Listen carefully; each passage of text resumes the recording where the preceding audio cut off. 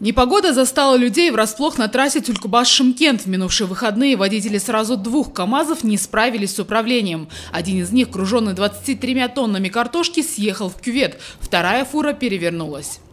жол көрінбейді жол вообще жол көрінбейді мы ехали со скоростью 30 км в час, но на дорогах нулевая видимость, невозможно ездить.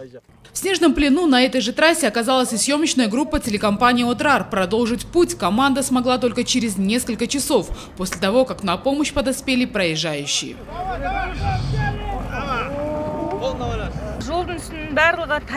Дороги не видно, к тому же очень скользко. Мы даже не заметили, как машина съехала с дороги. Неспокойно было и на других трассах Южно-Казахстанской области. Только в Байдибекском районе спасатели эвакуировали сразу 39 человек. Проведенная аварийно-спасательная работа это в Бадибекском районе. Там имело место э, в снежный попали легковые машины, автобус.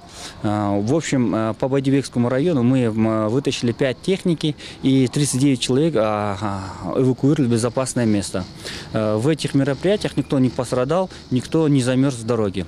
Между тем, из-за сильного бурана 10 февраля на автодорогах областного значения Шаян-Шалак-Корган на перевалах Ходаман-Булак и Таско-Мерсай закрыто движение для всех видов автотранспорта. Остальные автодороги республиканского и областного значения области пока остаются открытыми.